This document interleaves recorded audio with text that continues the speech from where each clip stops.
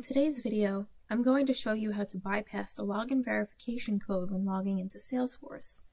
To begin, first navigate to Setup. Then navigate to Administration, Users, Profiles. Now, we're going to select the profile for the user or users you want to bypass the login verification code for. Next, under System, select Login IP Ranges.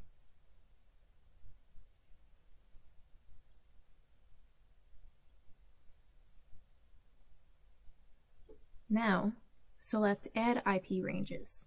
Enter the IP address range for the user you want to bypass login verification codes for. You may also want to add a description to differentiate the different IPs. When you're done, select Save. And if you want to add another user for this profile, select Save and New. And there you have it.